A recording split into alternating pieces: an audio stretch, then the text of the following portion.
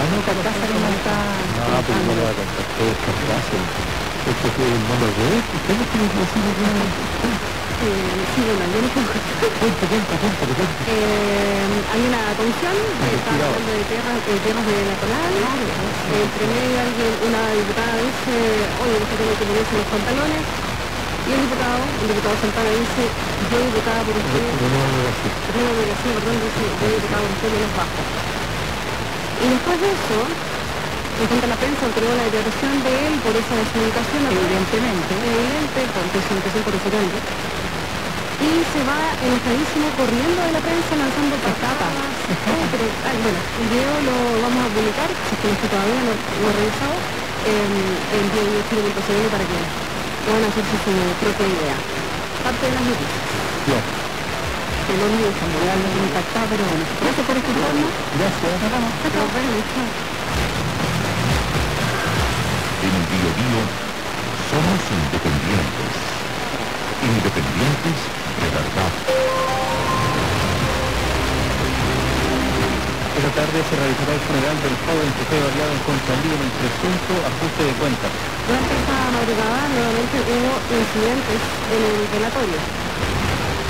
Baja a dos carabineros en Renca acusados de robar a familias migrantes chilenas.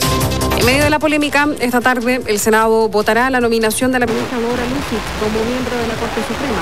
El gobierno manifestó tranquilidad de Chile tras presentación de la búsqueda boliviana en el litigio por el uso de las aguas destiladas. Bolivia asegura que seguirán defendiendo la soberanía de sus recursos naturales. Tras anuncios de suma urgencia, en la Comisión afirman que el proyecto del nuevo Instituto Nacional de Estadística debe asegurar autonomía, independencia y recursos para el organismo. La Superintendencia de Pensiones manifestó su preocupación por los efectos de la eventual manipulación del IPC en los fondos y en el seguro de cesantía. El presidente de la AFP afirmó que las pensiones están muy lejos de las expectativas de las personas y que no es un proyecto que haya que aceptar a ojos cerrados.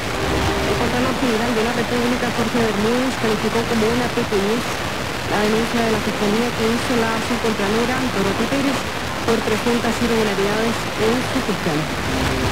Ministerio de Salud y Educación impulsa un proyecto de ley para hacer obligatorio el programa de educación sexual a partir del quinto básico para estudiantes de colegios que reciban aportes públicos. En el ámbito internacional, Estados Unidos ordenó el retiro de todo su personal diplomático no imprescindible de la embajada en Bagdad en el contexto de tensión creciente con Irán.